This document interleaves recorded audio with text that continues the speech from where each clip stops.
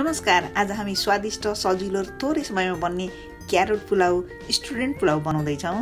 साह्रै मिठो र चाँडै बन्ने भएकोले मैले यसलाई स्टुडेन्ट पुलाउ भन्ने गरेकी छु। एकदमै सजिलो गरी तयार गर्न सकिने कलरफुल हेल्दी र टेस्टी पुलाउ बनाउन चाहिने सामग्रीहरू यस प्रकार छन्। दुई र आधा कप सेतो बासमती चामल उसिना बासमती चामल लिँदा पनि हुन्छ। दुई कप पानी भिजाएर राखेको चामलमा राख्नलाई एक चिया चम्चा नुन एक चिया चम्चा चिनी सात आठवटा जति ल्वाङ आठवटा सुकमेल तिनवटा टुक्रा दालचिनी दुई टेबल चम्चा घिउ। अब बनाउन सुरु गरौँ है त। सर्वप्रथम चामललाई दुई पानी पखालेर आधा घन्टा भिज्न दिने। चामललाई पानीमा भिजाएर बनाएको पुलाउ नरम हुन्छ। पुलाउलाई चाहिने बाँकी सामग्री एउटा मिडियम साइजको प्याज जुलियन गरी काटेको आधा कप फ्रोजन हरियो केराउ आधा कप गाजर जुलियन गरी काटेको बिस पच्चिस दाना किसमिस बिस पच्चिस दाना काजु आधा घन्टापछि भिजेको चामललाई राइस कुकरमा राख्ने दुई कप पानी पनि राख्ने।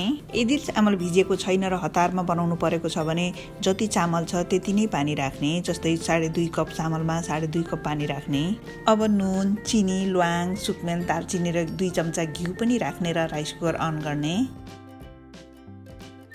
यसरी राइस कुकरमा बटर राइस पाकुन्जेल हामी अर्कोतिर चाहिने सामग्रीहरू तयार गरौँ।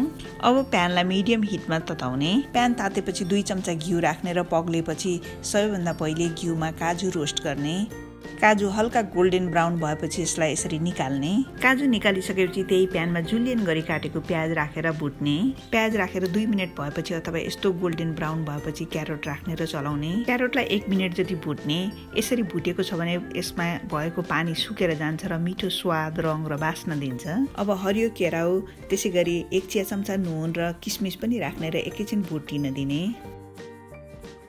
स्टोभ बन्द गर्ने र यता हाम्रो राइस कुकरमा बटर राइस अनि घिउ भात तयार भएको छ। यसरी तयार गरेको बटर राइस पनि तरकारीसँग अथवा चिकन मटनसँग खाँदा पनि साह्रै मिठो हुन्छ। हेर्नुहोस् कस्तो राम्रो गरी राइस तयार भइसकेको छ। म यहाँ चलाएर देखाउँछु। राइसलाई चलाउँदा तलसम्म चलाउने दालचिनी सिनामनको टुक्राहरू राइसबाट हटाइदिने। टुक्रा गरेको काजुलाई पनि यसैमा मिक्स गर्ने। अब प्यानमा फ्राई गरेको भेजिटेबलहरूलाई राखेर बिस्तारै राम्ररी मिक्स गर्ने। सबै राइसका सिताहरू नटासिकन फर्र भएको छ। ब्युटिफुल कलरफुल पुलाउ हेर्दै खाउँ खाउँ भएको छ। मैले त खानालाई तयार गरेँ। हजुर पनि यसरी नै बनाएर टेस्ट गर्नुहोस् आफ्नो अनुभव तल कमेन्ट बक्समा सेयर गर्नुहोस्। अर्को हप्ता यस्तै मिठो मिठो परिकार। हजुरको मनपर्ने परिकार।